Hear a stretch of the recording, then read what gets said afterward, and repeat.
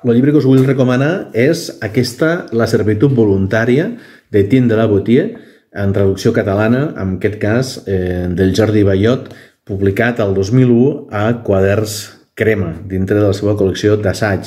Un text central del pensament llibertari, un text que, eh, si hem de fer cas al seu amic Montaigne, que és qui va, primer va donar a conèixer aquest text, perquè el seu autor, Etienne de la Botier, eh, va morir molt jove i no va arribar a publicar aquest text, qui el publica és el seu amic eh, Montaigne, Michel Montaigne, eh, aquest autor que va crear, en bona part, el gènere de, de l'assaig, i eh, si hem de fer cas, eh, com deia, a Montaigne, eh, tens la Boitel va escriure entre els 16 i els 18 anys, és un text eh, claríssimament eh, llibertari que defensa que eh, més que combatre als eh, tirans, a qui cal combatre és precisament el propi incapaç de ser lliure que portem dins.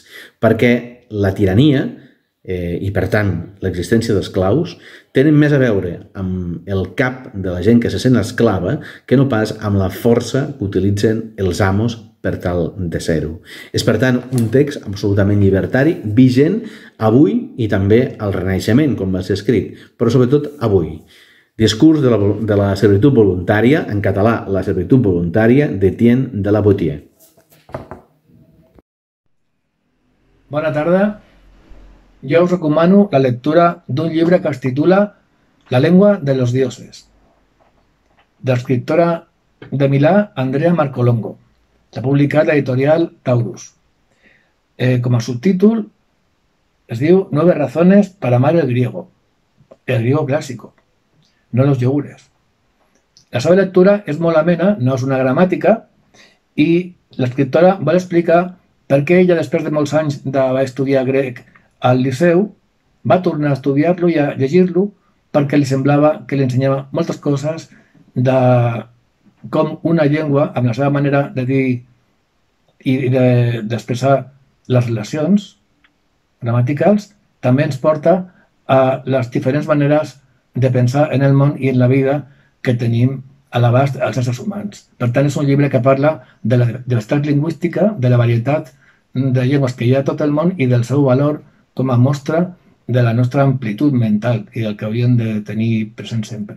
Yen, una historia íntima, publicada en 2017 por La Campana, es obra del científico y oncólogo norteamericano de origen bengalí Siddhartha Mukherjee.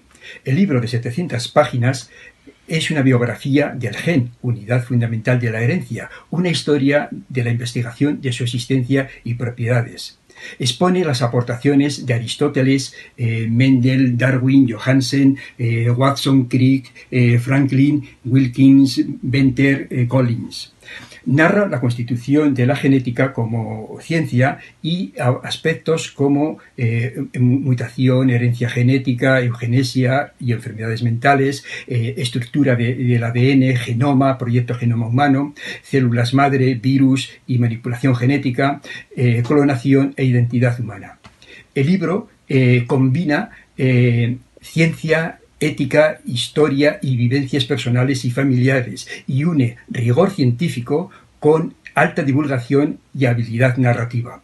Una obra, pues, absorbente, inquietante, sugerente, indispensable i de mucha actualitat.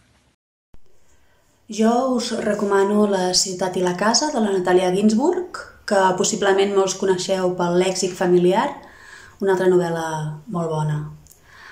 En aquesta novel·la de la ciutat i la casa, que és la darrera que va escriure, a través d'un grup de cartes que s'escriuen entre ells amants, amics, pares i fills, trobem un grup de personatges per als quals la vida no ha estat allò que esperaven. A través de les cartes notem les frustracions, les sorpreses, allò imprevist, que fins i tot en els moments de les cartes no, els transforma en, en, en noves persones. Al final, les cartes són un acte de valentia per part de qui l'escriu, de dir allò que és realment, i a la vegada, eh, per, al, per la persona que les llegeix, és un acte de llibertat, en el sentit de deixar a l'altre llibertat de ser qui realment és. Espero que us agradi. Hola, sóc en Carlos Robles i us volia recomanar un llibre molt especial per mi. Es diu Borges, és el seu títol, i l'autor és Adolfo Bioy Casares. Quan el vaig trobar per primer cop a la llibreria, pensava que estava ple de rates. Llegia Sábado 21 de septiembre. Come en casa Borges. Miércoles 18. Come en casa Borges. Martes 8 de abril. Come en casa Borges. Viernes 11. Come en casa Borges.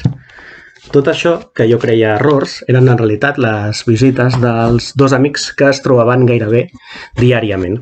Uh, ara que en aquests dies que trobem tant a faltar els bars, les copes, els cafès i els amics, mm, em sembla un llibre molt adient per uh, trobar el, aquella conversa intel·lectual, però també aquella malifeta verbal que, que ens agrada tant. Bé, espero que us agradi molt. Hello